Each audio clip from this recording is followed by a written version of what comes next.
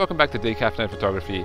I'm Alex. Today we're taking a look at the Olympus MJU2, otherwise known as the Stylus Epic. Its current street value is around $250. This thing is some of the hottest film gear going around right now. Is it worth the steep price? I don't know, Josh. Let's find out. Being a 35mm point and shoot, there really isn't much to talk about in terms of buttons or features. Here we have the silver colored version, but it also comes in a black version, which also looks very sleek.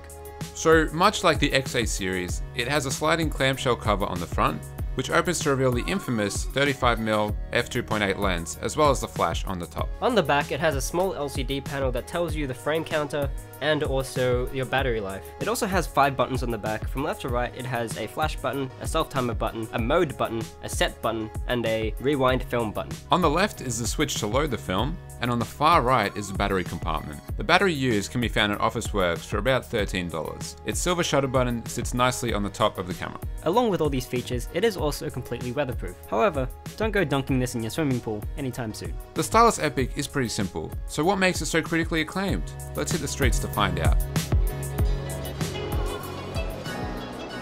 The Stylus Epic is super small. Take any perception of a small camera out of your mind, just completely forget about it. This is the smallest point and shoot that I can say I've ever used, and it's great. Let's have a look. So the small factor isn't necessarily always a good thing though. Unfortunately, it's not necessarily like ergonomic and it can slip out of your hand sometimes. It's also pretty hard to take a photo with one hand without getting your finger caught in front of the lens. Let's switch over. Despite all of these nitpicky issues, I think, you know, we're really complaining about something that's insignificant.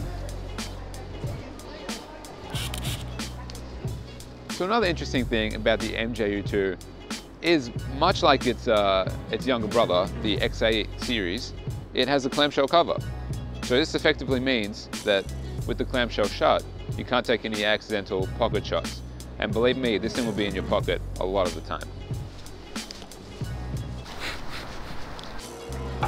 So the clamshell cover, it is a it is a pretty cool feature. But every time you you close the clamshell cover and then open it back up, it reverts your settings back to auto. So for me uh, personally, I like to shoot without the flash on.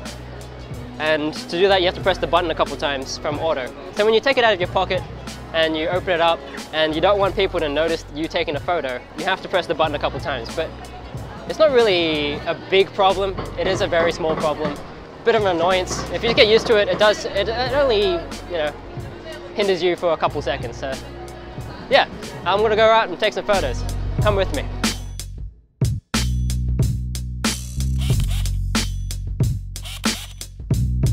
So the MJU2, it really packs a really big punch in such a small package. It has a 35mm lens with an f2.8 aperture, which is actually quite amazing when you think about it. It also uses something called DX coding, so this piece of technology called DX coding, what it does is it, it reads your film roll. So, um, hold on, somebody just dropped a whole bunch of coins.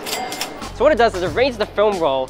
So you don't have to input what ISO, what ASA, and how many shots are in the in the roll of film that you're using. What it also does is it, it can tell you, like with the LCD screen on the back, how many shots you have left. So for me personally, I reckon it's a pretty good mix of analog and digital, and it's pretty perfect really. So I want to keep taking some photos.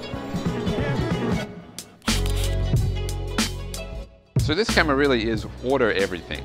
Auto exposure and autofocus really removes the need for any manual control. You can't change the shutter speed, you can't change the f-stops. It really just makes it the ultimate, the true definition of a point and shoot camera. Unfortunately for this reason, Josh will be very angry because we do know how he, uh, he really likes his manual control. But unfortunately, Josh, this camera is really nice. I wouldn't say angry, just disappointed. For such a small camera, I wasn't really expecting the manual controls anyway. For what it is, it's, it's really good. It's got amazing specs. The auto exposure is really good. Yeah, the images aren't really blown out ever. It's, it's, it's got, a, it maintains a very good level of light input. It uses autofocus technology called multi-beam focusing. Uh, personally, I'm not that tech savvy to know. If you want to search that up, you can. It's, it's pretty good, but it's not perfect. It definitely does miss the autofocus sometimes. That's, that's okay as well, because again, what more can you expect from such a small camera like this? So well, there's not much more you can expect from this. The autofocus is kind of shoddy, but the exposure definitely makes up for it. Flash. So focusing is with this thing is pretty tricky. Apparently, if you hold it down and it, through the viewfinder you see a solid green light, it is in focus. But more often than not, you'll see a flashing green light, and that says that it's still seeking for focus. We found through our rolls that we got just over half of our, our shots in focus. So it's a real hit and miss kind of thing. By no means, you know, perfect, but nothing these days is perfect. It is pretty good, yeah.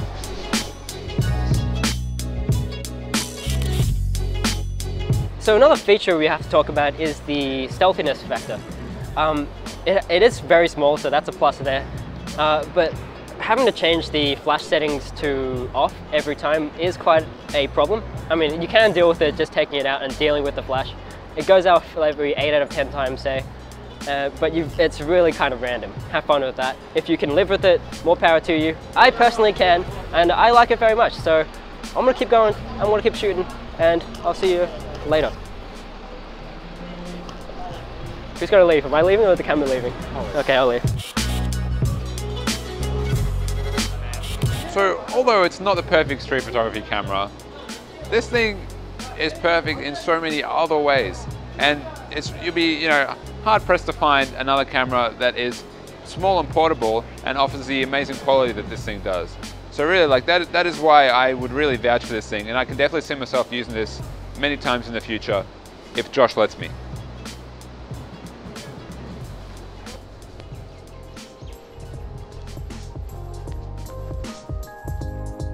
Hey guys, thanks for watching the video. If you liked the video, give it a like. If you want to give us some feedback, chuck some feedback down below. You know we do like the, the feedback. We appreciate the feedback. We love the feedback. Yeah. Overall, I think we have pretty similar thoughts on this infamous little pocket camera.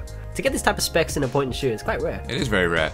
In saying that, we did find a few issues we found that focusing was more about luck than actual ability or skill. Because of that, I guess the selling point of autofocus is almost irrelevant if half of the shots are out of focus. Yeah, exactly. With the street price of $250, I think we expect a lot more from this film camera. I guess maybe if it weren't held to that high price, we wouldn't be so skeptical about going out of your way and dropping that much money on it. Keep a lookout at like garage sales and uh, thrift shops and stuff like that. Yeah, don't expect it to be a huge, amazing, wonderful thing. It's, it is a point and shoot. It's very good at what it does, but yeah, don't uh, try not to get too hyped over it.